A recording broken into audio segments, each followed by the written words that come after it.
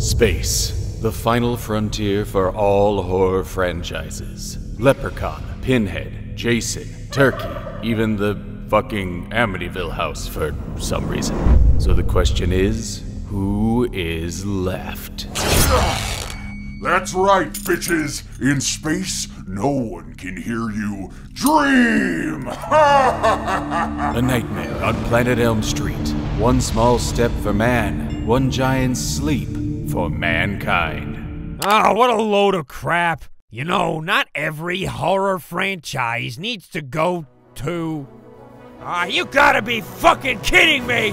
Chuck Rogers in the 24th and a half century! Time to play hide the solar system.